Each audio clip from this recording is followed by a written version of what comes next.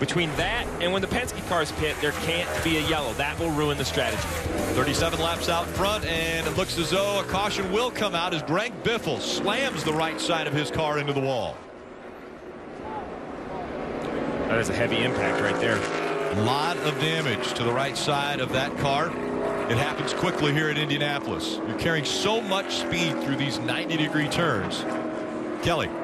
What a shame for Greg Biffle, who had had three straight top 10 finishes coming into this. He had initially asked the team to tighten him up a little bit, but after that pit stop, he said he had zero turn in the car. He said it was plowing, and now he's obviously made heavy contact with the wall.